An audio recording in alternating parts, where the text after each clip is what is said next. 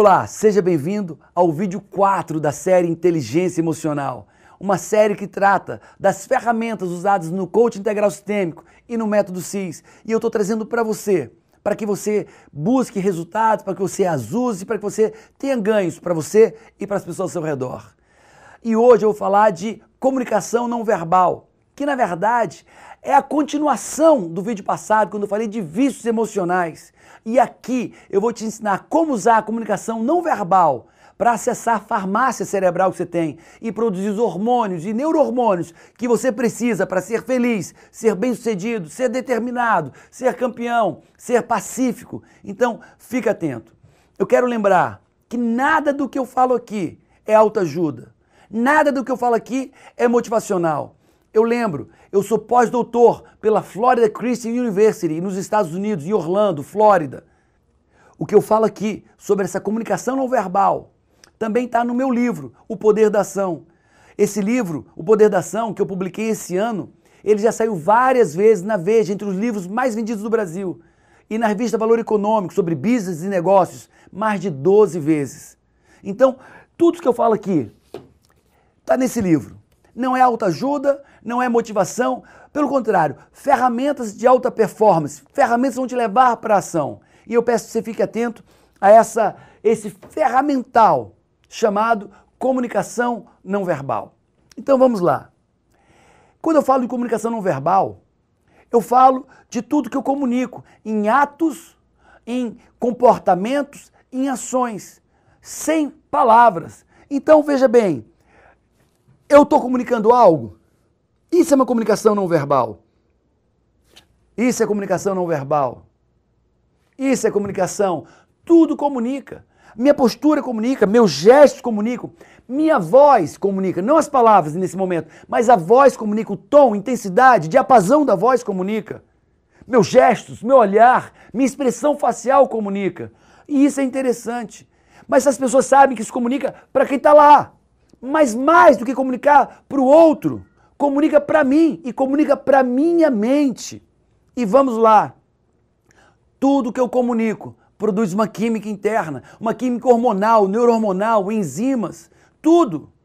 Tudo que eu comunico.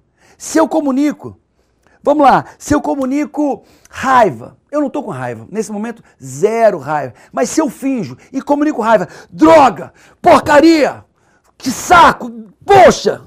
Nesse momento, o meu cérebro entende essa comunicação e automaticamente ele começa a produzir adrenalina. Nesse momento, meu coração bate mais forte, produzindo mais oxigenação no sangue, me dando explosão muscular, me dando força. Força para bater ou força para fugir. Talvez até congele-me aqui parado. Isso é adrenalina, vai me fazer suar. Minha pupila, quando eu estou com raiva, dilata e eu fico mais atento. Eu perco a visão periférica, mas fico mais rápido. E tudo isso produzido pela adrenalina. Uau! E por que, que meu corpo produz adrenalina agora? Porque eu comuniquei raiva. E se eu comunicar? Se eu comunicar, vamos ver, estresse. meu Deus. Caramba. Ai, ai, ai. Putz, grila. E agora, como é que vai ser, gente? Será que vai cair um meteoro na Terra? Meu Deus! Disseram que poderia cair um meteoro na Terra, talvez daqui a um bilhão ou daqui a 100 milhões de anos. Como será se isso acontecer? E por mais absurdo que seja o tema da minha ansiedade, desse estresse, meu corpo, meu cérebro percebe essa comunicação e começa a produzir cortisol, o hormônio do estresse. Eu não preciso de motivo real. Basta me comunicar com uma pessoa estressada. É assim que funciona. Não é como eu quero, não é como você quer. É como o ser humano é, é como os livros e a ciência mostra que é. Então, veja bem, tudo que eu comunico produz uma química. Uma química de felicidade, de sucesso, ou uma química de fracasso. Quer fazer uma experiência comigo? Que eu faço lá no Método 6? Vamos lá. Se você puder e quiser, e quiser experimentar, Fica em pé diante da tela e segue, e, e segue meu, o que eu vou te dizer, né? Desde que eu te conduza. Mas antes, escreve aí qual é o teu estado de espírito nesse momento. De 0 a 10, qual é o teu estado de espírito? Como você se sente? O teu bem-estar subjetivo agora, de 0 a 10. Coloca aí. Colocou? 7, 8, 6, 5, coloca, não importa, é o seu estado. Coloca. Ok. Agora eu peço que você fique em pé comigo. Adequa o teu computador, a tela, para que você possa ver. E eu quero agora que você franza a testa, aperte os olhos e olhe entre os pés. Apertando. Isso, aperta bem. Aperta bem. Aperta os olhos, aperta a boca, aperta o punho. Suspira e segue assim.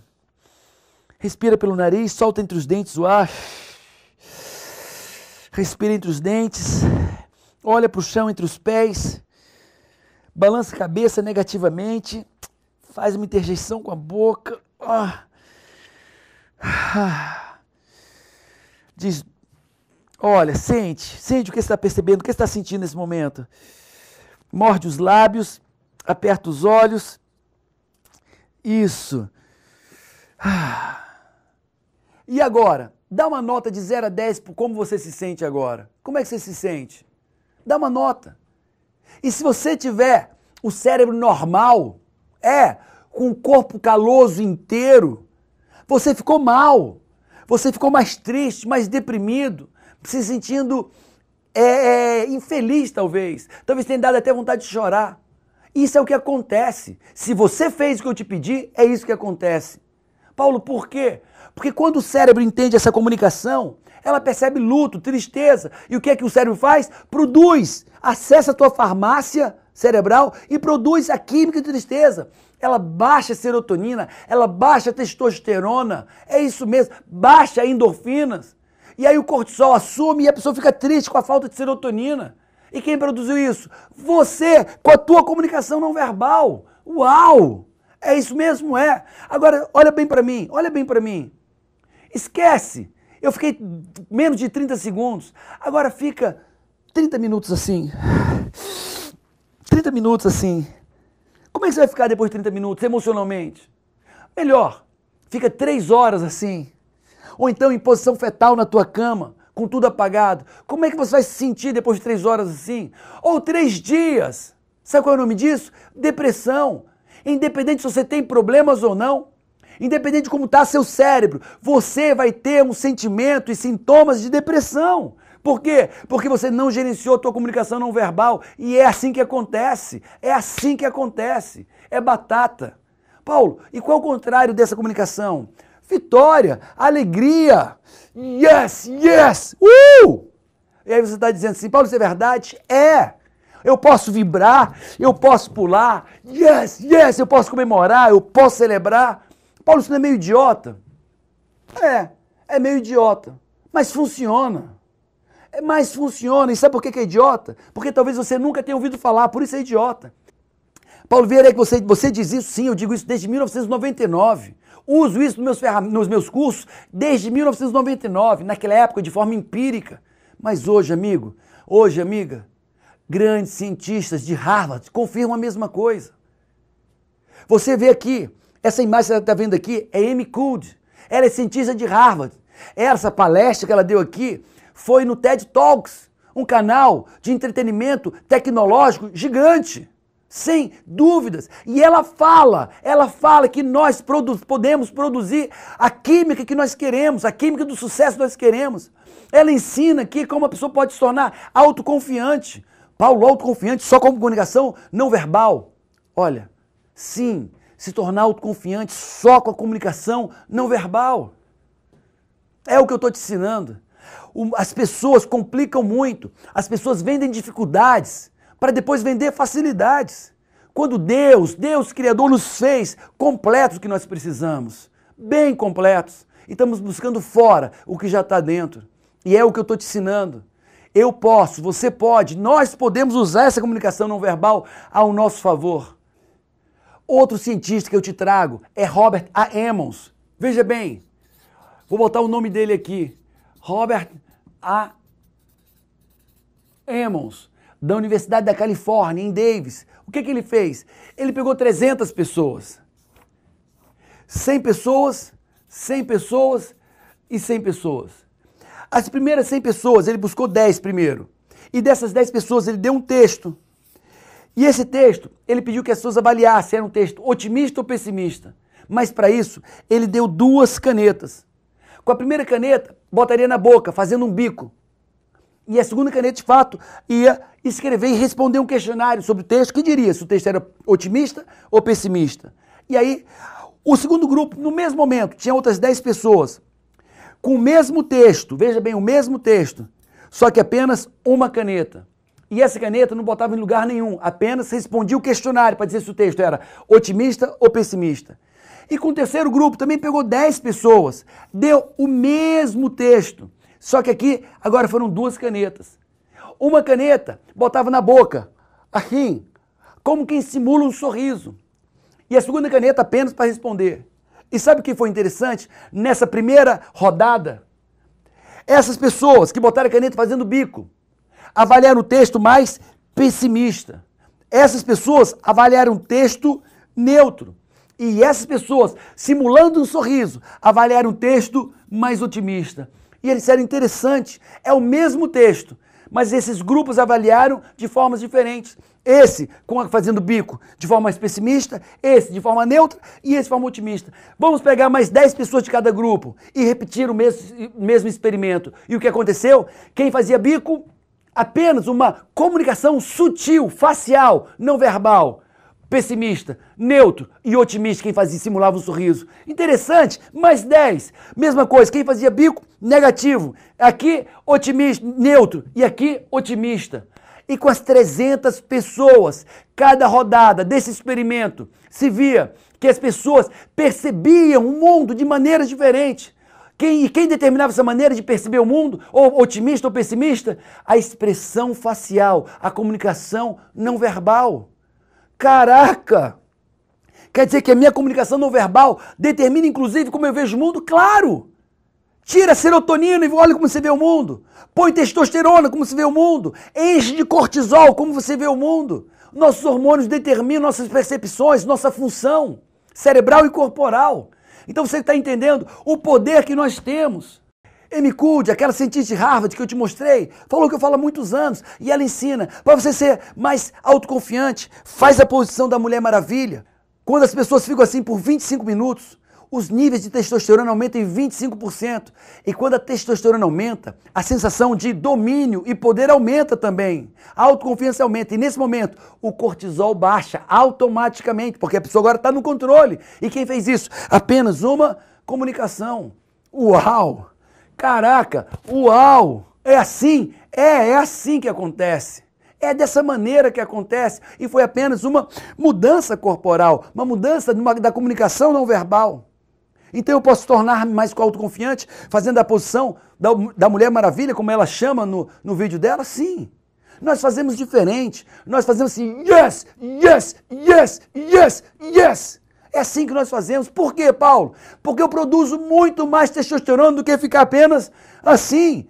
E agora eu modulo o meu humor. Eu decido pelo meu humor. Porque eu decidi antes pela minha comunicação.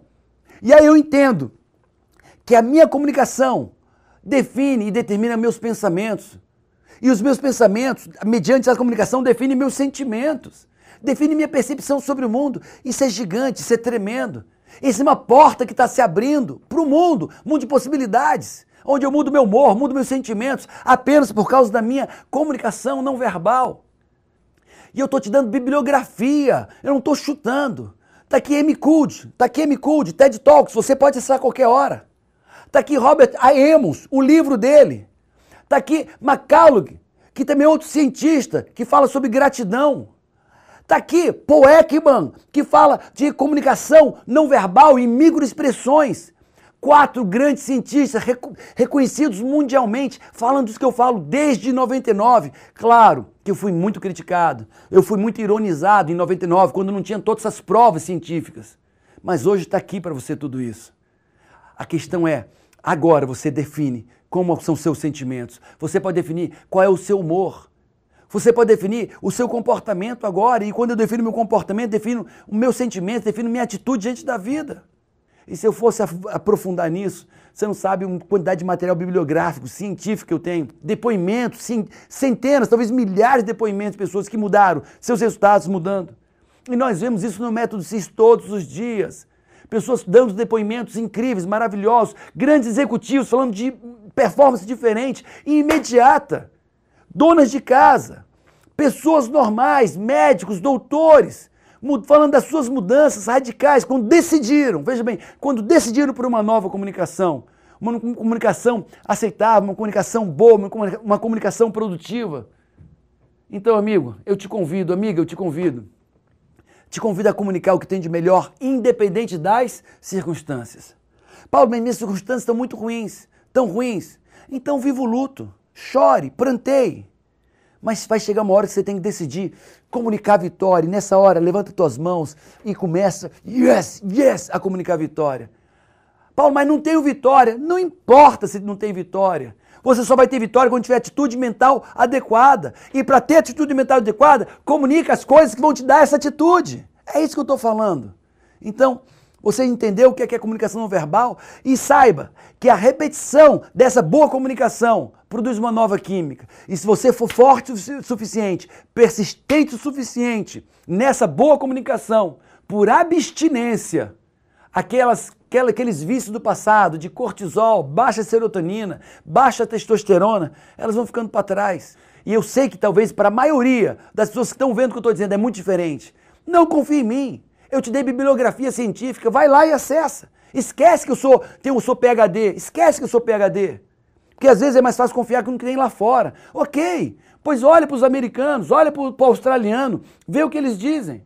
Compra um livro, acessa esse vídeo da M. Cud no, no TED Talks, tá aí. E você vai ver que eles estão dizendo exatamente o que eu digo há muito tempo. Tá bom? Então, se você gostou disso, achou interessante, faz perguntas, mais bibliografia, o que você precisar, mais questionamentos e também se inscreve no nosso canal, porque tudo que eu publico, todos os vídeos no YouTube, você vai receber no, na sua caixa de e-mail automaticamente sempre que eu publicar um, tá bom? Um grande abraço. Se você achou esse vídeo importante, também compartilhe com o maior número de pessoas que você acredite que ele pode ajudar. E assim nós fazemos aquela corrente do bem. Um grande abraço, sucesso e Deus te abençoe.